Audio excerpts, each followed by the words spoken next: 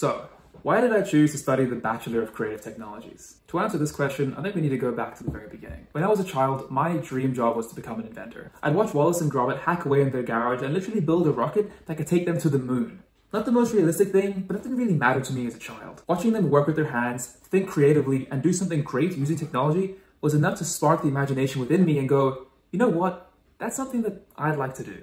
Then there was Steve Jobs. I was enthralled by his ability to captivate an audience and get them as excited as he was about whatever cutting edge product it was that he was unveiling. In his biography, he mentions that technology alone isn't enough, and it was the marriage between technology and the liberal arts that gave Apple their edge. Other tech companies hadn't mixed arts and technology in that way before, and evidently it worked out pretty well for Apple. This is a similar view to the one expressed by Rich Gold in his book The Plentitude, where he discusses the importance of the art, design, science, and engineering fields converging in order to yield better results and avoid becoming just commodities. Rich writes, design without art or engineering without science both quickly asymptote to a commodity. And in the globalized world, if you're merely producing a commodity, you're dead. So the idea that technology and creativity could both synergize to produce something better than either field on its own has been an idea that's been present with me for quite a while. So when I saw that there was a degree out there that deals with this topic head on, it kind of became a no-brainer. So what do I expect from this degree?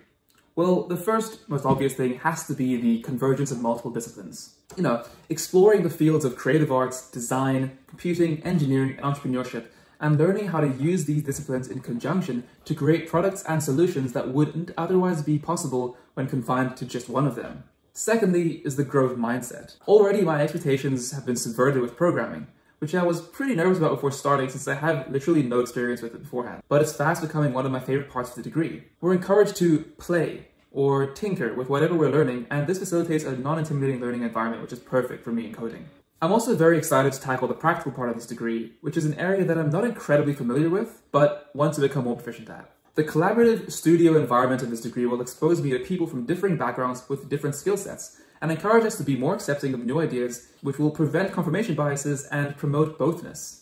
This degree also focuses on the wicked problems, which includes the potential negative aspects of technology. It pushes us to use lateral thinking to consider all sides of the equation. Yes, technology is great, but we also have to be conscious and prepared for the drawbacks, such as the e-waste or privacy concerns associated with social media. However, these wicked problems also present the opportunity to construct solutions using the creative design methods and ways of thinking developed in this degree. Necessity, after all, is the mother of invention, and I expect that saying to be used quite a lot in this degree. Technology has always been embedded in the history of humanity. From the first tools being developed by our ancestors 3 million years ago, to the Industrial Revolution of the late 1700s, to the more recent evolution of smart devices and virtual reality, every advancement that has been made has come from a creative solution to an existing problem. So, I'd argue that creative technology has been around for as long as mankind. As an academic field, however, it's still in its infancy.